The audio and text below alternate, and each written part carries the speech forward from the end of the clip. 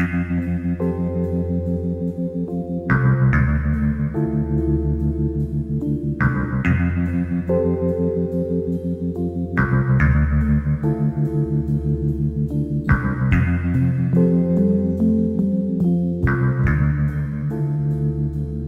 家好，今天来跟大家分享我们是怎样自己做了今年的新专辑《狗日子》的。首先，我们有一个 home studio。其实，任何人都可以有一个 home studio，只要你有一个合适的空间。这个空间。不必多么 fancy，它可以是客厅的角落、卧室、储藏室、下室、壁橱、你妈的卧室，这些都是可以用作 home studio 的空间。我们的 home studio 就在客厅的角落，我们在这里写歌、排练、录音、混音、带，除了电，一切都是免费的。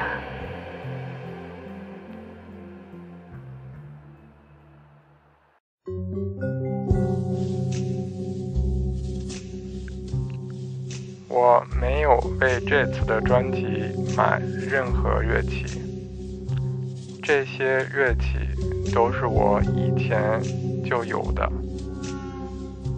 说这把贝斯，它很便宜，你们猜猜有多便宜？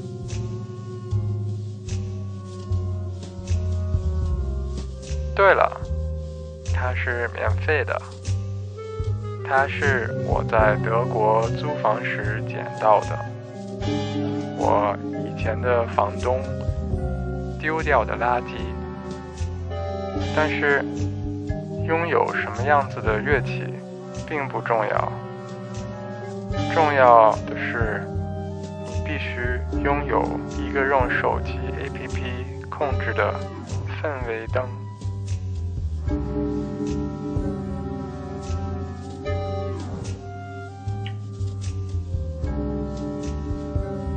这样一来，不管你用什么乐器演奏，都会很有氛围。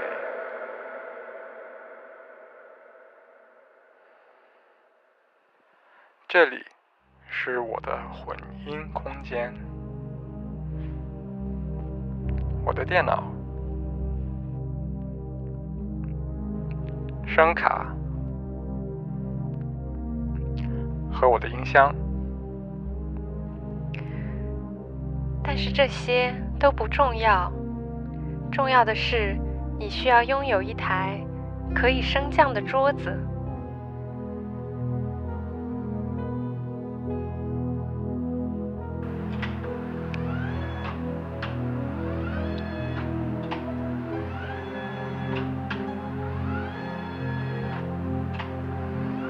你还需要足够的线材收纳设备。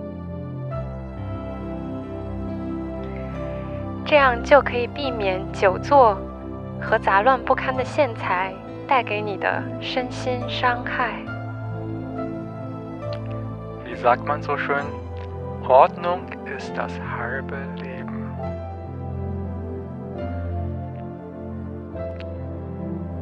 这个布帘也是我们 studio 非常重要的组成。它是用我们的旧窗帘改造而成的。专辑制作进入后期的时候，混音师往往会处于躁狂状态。这个时候拉上布帘，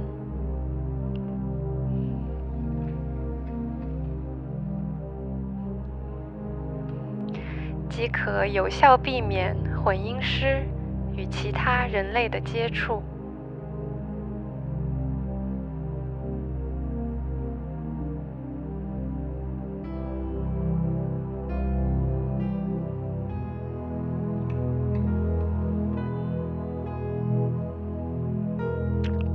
Just kidding，它是用来隔音的。让我来给你们示范。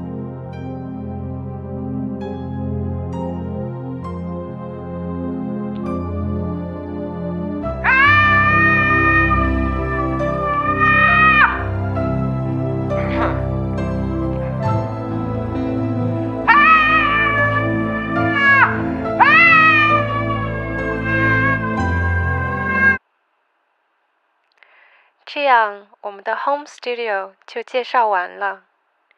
要想不花钱做一张专辑，除了拥有一个 home studio，你还要学会自己演奏很多乐器。比如说，通通在《狗日子》这张专辑里演奏了 bass。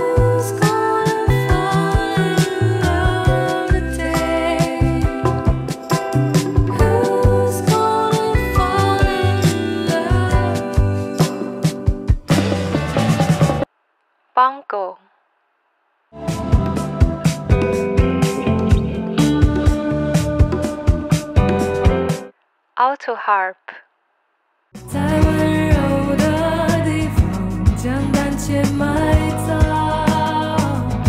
我的夜晚如晨光开始。钢琴。太阳正在下沉。黑管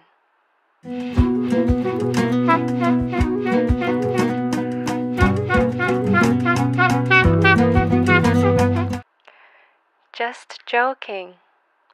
黑管是哈迪演奏的，有的时候冤枉钱还是要花的。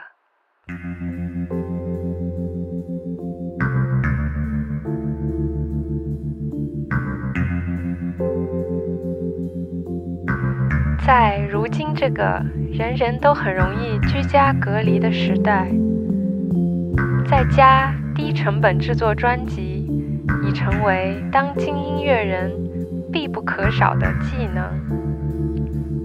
Es ist nicht wichtig, wie viel Geld du ausgibst, solange du hart und fleißig arbeitest.